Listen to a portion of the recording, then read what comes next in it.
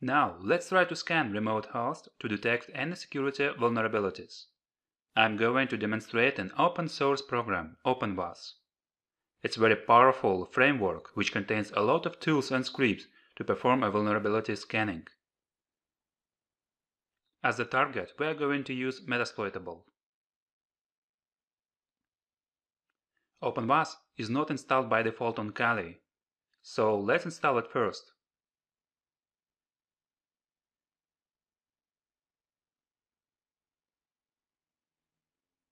The software is installed. Now it is necessary to perform initial setup. Execute the following command.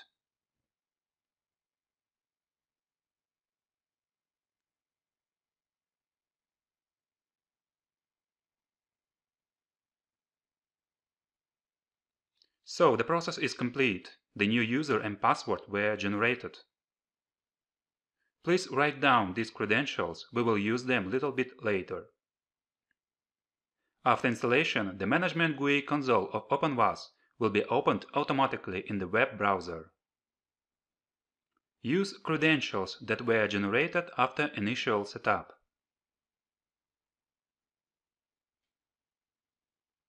And that's how it looks. If you need to change the password, just click on Administration, Users. Select User and click on Edit User.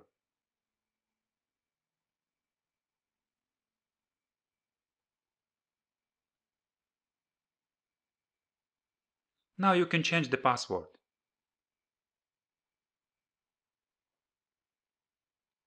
If you forgot the password, you can change it in console terminal.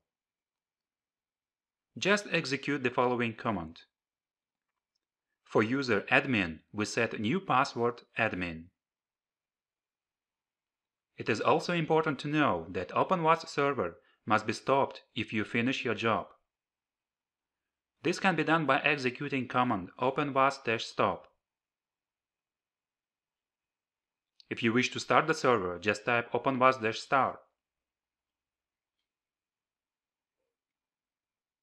By the way, all mentioned commands are available in application menu.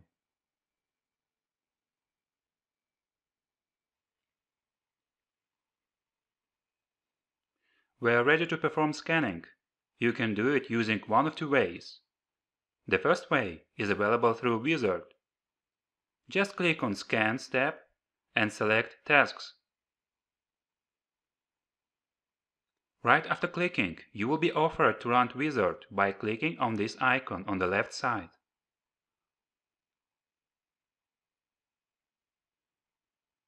Move mouse cursor to this icon.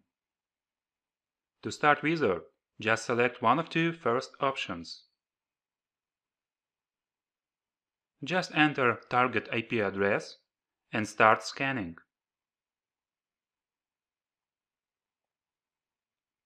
This method is useful to scan single host when you want to get as more information as possible about your target. Wizard scans all the ports and launches almost all available scripts and tools to find security vulnerabilities. But if you want to check only a certain port range or launch only a limited amount of scripts, you have to perform manual configuration of scanner. Move your mouse cursor to Configuration tab. You can see four first options, Targets, Port List, Credentials, and Scan Configs. Scan Configs defines the scripts and methods of scanning. It already contains predefined settings. But if you wish, you can enable or disable some scripts. Let's create the new item. Click on this icon and enter any name.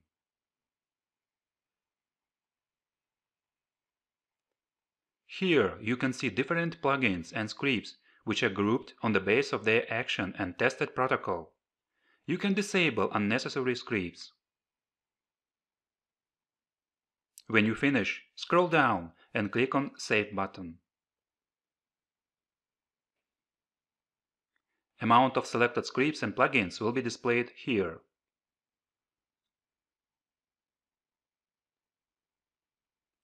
In credentials, we define username and authentication types, for example in brute force attacks. Click on the same icon if you wish to create the new list of credentials. In Ports List section, we just configure port range.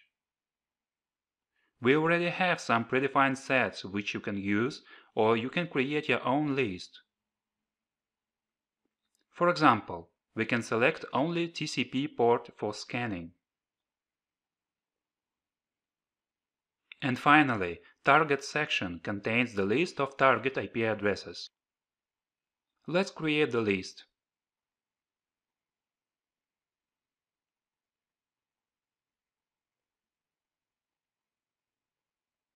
Everything is ready and we can start scanning.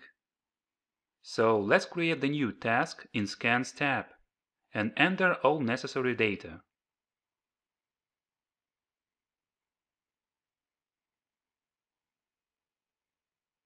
Select your target and scan config which we created manually.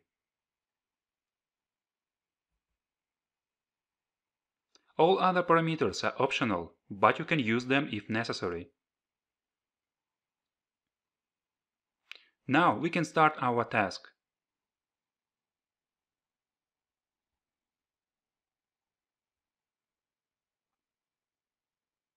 When the scanning is complete, you can review results by clicking on Results or Reports in Scans tab.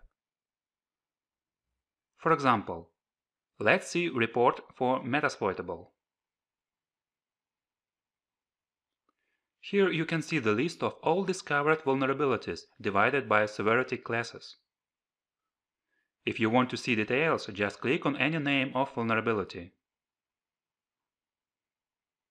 You can also download the report in desired format. First, select the format.